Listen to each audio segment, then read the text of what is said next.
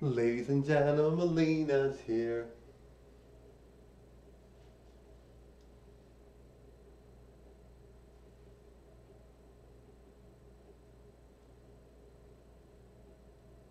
Bye guys, thank you.